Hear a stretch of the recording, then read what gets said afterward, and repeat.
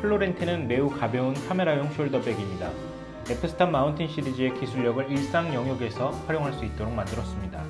가방의 외부 소재는 안쪽을 방수 코팅한 고강도 나일론입니다. 가방 자체가 방수 기능을 갖고 있고 지퍼도 방수 기능을 갖춰서 비가 오는 상황에서도 수납한 카메라를 보호해줍니다. 손잡이는 가늘어서 손에 쥐는 느낌이 가볍고 촉감이 좋습니다. shoulder strap의 패드는 고정 방식입니다. 대신 양쪽에 길이 조절 기구가 있어 패드를 항상 가운데에 둘 수 있습니다. shoulder strap은 카라비너 방식으로 탈부착이 편리합니다. 가방 내부의 카메라 보호용 유닛은 카메라 본체와 렌즈 3개를 수납할 수 있는 크기입니다. 렌즈는 70-200급 렌즈까지 충분하게 수납할 수 있습니다.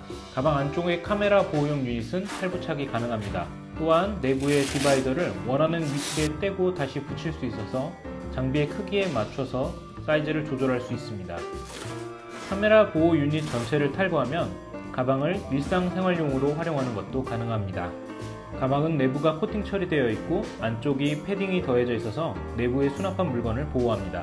가방 전면에는 액세서리를 수납할 수 있는 작은 포켓이 적용되어 있습니다.